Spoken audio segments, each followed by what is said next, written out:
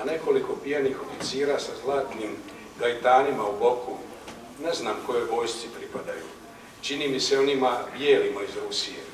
Stalno iznova plešu, skaču iz čučnja, potičući gramofon pljeskanja. Hvala najljepše na uvodu, e, lijepo vas pozdravljam. E, moram reći da mi je iznimna radost i čast evo što imam prilike e, govoriti o ovom najnovijem Damirovom romanu.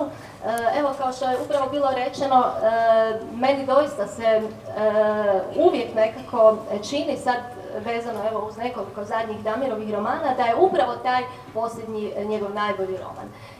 Večer.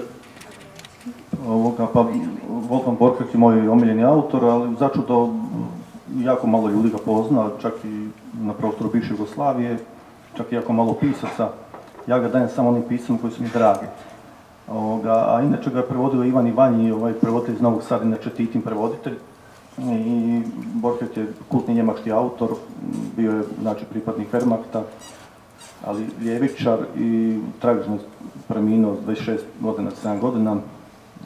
Tako da u biti, eto, to je jedan daotra koji se ja često ovoga vraćam, kako je rekao Nabokov, računa se ovoga samo drugo ili treće čitanje, općenito je čitanje puno kreativnije od pisanja i svaki put kad čitamo neku knjigu ponovno, mi joj dajemo neki novi značaj, neku novu bit i čitamo na neki drugačiji način.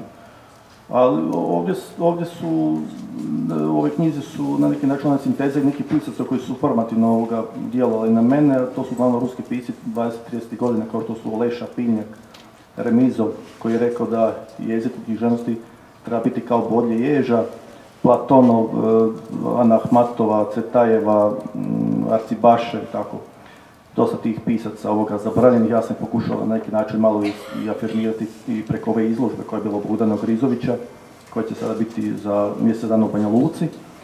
I, ovoga, I tako eto, a što se tiče tog rata, odnosa Borheta prema ratu, zna, zna, da je on bio ovoga, pacifist u ratu, a ja sam isto pacifist, bio sam u ratu. Ima tu jedna rečenica Majakovskoga, kad izgovori jedan lik u romanu, ovoga, rat je odvratan, a pozadina još odvratnija.